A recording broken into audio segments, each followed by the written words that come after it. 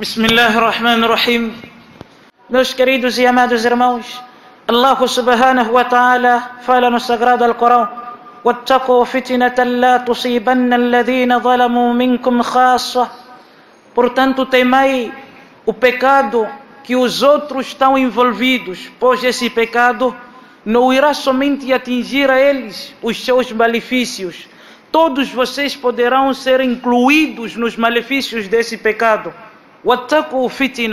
Então temam esse fitina, que somente não irá atingir aquelas pessoas que estão envolvidas, mas vocês, como uma comunidade muçulmana, também podem estar envolvidas no mesmo fitina.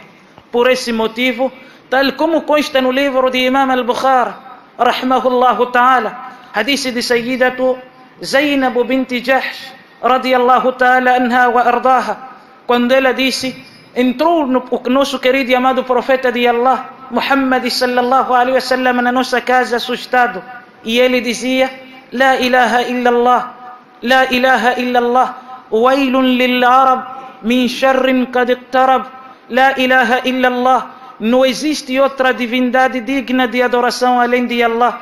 Ai dos árabes, do mal que se aproxima no meio deles. Umm Zainab perguntou ao nosso querido e amado profeta de Allah, Muhammad sallallahu alaihi wasallam, Ya Rasul Allah, o mensageiro de Allah, anahliku wa fina salihun, seremos nós arruinados com Allah, enquanto no meio de nós existem os piedosos, o nosso querido e amado profeta de Allah, Muhammad sallallahu alaihi wasallam, respondeu positivamente. Disse: Naam, sim, isso pode acontecer idha kusra al-khabas, quando o mal se alastrar, quando o mal superar-se sobre o bem. Aquelas pessoas que são bondosas, que são virtuosas, que se dizem nós somos piedosos, se encostam num canto, eles esquecem que nós estamos numa embarcação. E nessa embarcação que se chama Dunya, existem santos, existem pecadores. Nós todos numa embarcação. Se essa embarcação afundar-se, afunda os santos e afundam os pecadores. Quem está a dizer isso não sou eu, não são minhas palavras. É um hadith que consta no livro de Imam al-Bukhari, rahmahullah ta'ala. O mesmo hadith foi narrado por Imam Ahmad ibn Hanbal no seu Musnad, em que o hadith é de Sayyidina Nu'man ibn Bashir, radiyallahu ta'ala anhuma wa ardahuma, em que ele disse, o profeta Muhammad sallallahu alaihi wasallam disse, Masalul qa'im ala hududillah, exemplo daquele que sempre é constante no cumprimento das ordens de Allah, wal waqi'i fiha, e aquele que viola no cumprimento das ordens de Allah, o exemplo do santo e o pecador, assemelha-se o quê? Assemelha-se um povo que encontra-se numa embarcação. Uma parte desse povo, uma parte desse grupo está na parte superior da embarcação, a outra está na parte inferior. Enquanto que as pessoas que estão na parte inferior da embarcação, quando necessitam de água, eles têm que ir para cima da embarcação. E um deles disse: por que, que nós precisamos de incomodar os que estão acima da embarcação? Se nós podemos furar o nosso barco no nosso local e a água entra aqui mesmo. Quer dizer, o profeta dá esse exemplo para você saber que nem todo que está envolvido no pecado, na imoralidade, tem juízo, quer dizer, são pessoas que sabem o que estão a fazer. Esses querem evitar incomodar os outros que estão por cima e ao mesmo tempo estão a pensar a furar a embarcação. E o profeta sallallahu alaihi wasallam está a dizer: os santos que estão em cima da embarcação, se eles não impedirem aqueles de furar a embarcação, o que é que vai acontecer? Halaku jamia, todos eles vão se afundar. Aqueles que estão em cima e aqueles que estão embaixo. Se fizer wa in akhadhu ala aydihim, mas se eles impedirem, se eles tomarem pelas suas mãos, lanajau jamia, então todos eles são salvos. Um grupo que está aqui no mundo pretende furar esse mundo, pretende sujar, e um outro grupo pretende limpar, pretende fazer boas coisas. E aqueles que querem fazer boas coisas não podem ficar isolados no meu canto, no seu canto, dizer: Olha, eu sou bom, eh, Allah está comigo e tudo, mas Allah está a correr bem. Aqueles que estão mal, meu querido e amado irmão, o, o conhecimento não tem valor se não beneficia aqueles que não sabem. Os bons não tem valor se não beneficiam os maus. A mesma coisa, os ricos não tem valor algum se não beneficiam os pobres. Tudo isso está junto numa embarcação.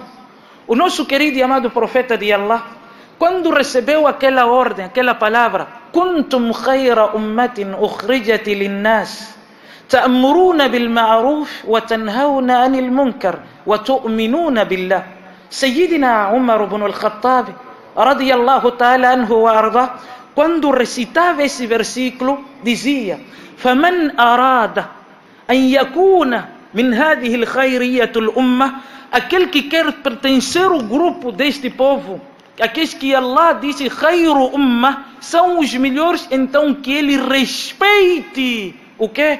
Aquilo que são as regras de exortar o bem e proibir o mal. Não significa que todos que querem impedir o mal sabem impedir o mal. Não significa que todos que querem falar o bem sabem falar o bem, sabem dizer o bem. Portanto, é necessário que você conheça o que, é que você está a impedir, o que, é que você está a exortar. Por isso que no Islã é proibido, em nome de querer ensinar o bem, em nome de querer fazer algo de bom, você criar um outro mal na tua própria casa. Às vezes você, tua mulher, cometeu algum erro e você quer impedir aquele mal. E você bate nela, usa a sua força, às vezes quebra o braço dela. Você impediu o mal ou piorou o mal? Às vezes teu filho brinca mal lá em casa. Você quer repreender, não é isso? Em vez de repreender, o filho vai parar no hospital. O que que você usou? Você propagou o mal ou você impediu o mal? Às vezes entre muçulmanos existe um momento em que alguém quer impedir o mal, mas em vez de se impedir o mal, já estão se insultar uns aos outros, já se golaram, já estão se a bater. Esses estão a impedir o mal ou estão a propagar o mal? Nem todos sabem impedir o mal. Por isso que escutar bem essas palavras foram ditas por Sheikh al-Islam Ibn Taymiyyah rahimahullah ta'ala. Diz assim: "Inna an-nabiy sallallahu alaihi wasallam certamente que o profeta Muhammad sallallahu alaihi wasallam fez o quê? Shara'a li ummatihi. Ele instituiu para o seu povo ijaba inkar al-munkar, a obrigatoriedade de proibir o mal. Começamos aqui. Para que você quer proibir o mal? Liyahsula min al-ma'ruf, para que com o bem agrada Allah e o seu Rasul. Agora escutar bem. Fa in kana inkarul munkar, se for que esse impedir mal, rua akbarul munkar, é o maior mal que você vai fazer. Quer dizer, se for que é esse impedir mal que você está a tentar fazer irá proporcionar o mal pior que o outro, então nesse caso, fahua amrul bimunkar, isso significa você propagar o mal wasa'iyu fi ma'asiyati Allah wa Rasul. Está a desobedecer a Allah e o seu Rasul. Já percebeu? Se você não sabe impedir o mal, o melhor é você calar e usa os mecanismos bons para impedir o mal não usa os mecanismos maus não se impede se você quer agradar a Allah lógico se você quer agradar a Allah, não somos aqueles que dizem, vem com mal ou vem com mal. Não. Ninguém pode morrer por fazer o mal. As pessoas devem se beneficiar por você existir. O fato de eu cometer um erro, não posso morrer. Você não pode me bater. O teu objetivo é você me tirar desse erro. Agora, se nós chegarmos a, a nos a insultar, humilhar um ao outro, nós não estamos a impedir o mal, mas sim estamos a propagar o mal. Esse é um ensinamento do nosso din Islã. Somente aqueles que sabem. Aqueles que não sabem, o melhor é calar. Se você viu algum mal a ser cometido, se você acha que se eu entrar aqui vai criar mais problemas do que a solução, então o melhor é calar. Se você se fazer que não, eu vou falar, vou, vou tentar, aí vai criar um, um problema maior do que aquele que já existiu e vais desobedecer a Allah e o seu Rasul Muhammad sallallahu. Se nós fizéssemos até aqui no Suaf, vocês costumam ver, por somente dizer, olha, irmão, afasta para aqui. Isso só gera problema. Isso só, aqui dentro, já gera discussão. Imagina lá o mundo todo. Então é melhor a gente ter aquelas, como disse o nosso querido e amado profeta de Allah, tentar usar a gentileza, ser mais gentil quando queremos falar. Por isso Allah diz: billah". Vocês creem em Allah. O objetivo não é seu nome sair. O objetivo é agradar-se a Allah. Agora, quando alguém erra, você chega lá fora, começa, aquele vai ali, fez isso, fez aquilo. O gajo depois não sabe, o gajo depois é isso, o gajo depois começa a humilhar. Aquele. Você não está a proibir o mal, você está a propagar o mal. Você viu o mal a ser cometido, em vez de ensinar, foi falar lá fora, ah, essas pessoas, você está a propagar o mal. Estás a cometer um pecado, que Allah nos salve desses pecados. Wassalamu alaikum wa rahmatullahi wa barakatuh.